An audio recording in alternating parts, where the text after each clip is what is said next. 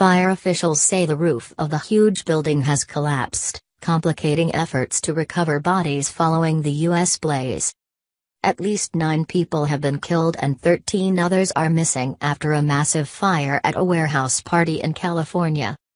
Firefighters said there had been about 50 people inside the building when the tragedy happened in Oakland's Fruitvale district late on Friday night.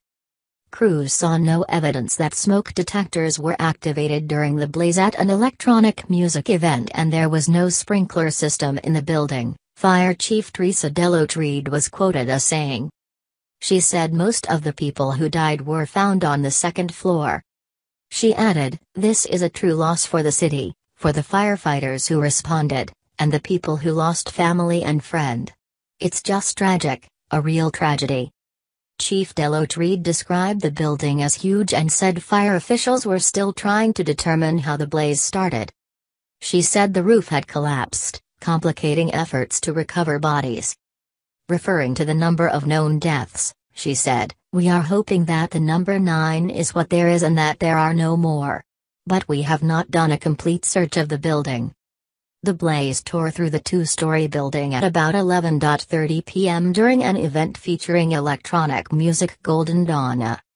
Police told local television station KTVU that the facility houses a group of artists and their studios. Bob Mule, a photographer and artist who lives in the building and suffered minor burns, said, It was too hot, too much smoke, I had to get out of there.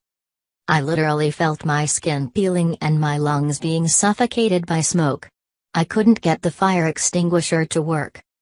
Friends and family of partygoers have used social media to try and find out what has happened to their loved ones.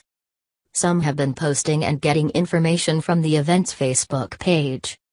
Police have said anyone looking for those missing after the blaze should contact the Alameda County Sheriff's Coroner's Bureau. Some 55 firefighters attended the scene, near the corner of 31st Avenue and International Boulevard. Firefighters tackled the blaze inside but then had to go back outside when conditions changed, reports said. Several hours later, the fire had not been officially declared under control and there was still smoke coming from the an upper floor of the building. More subscribe.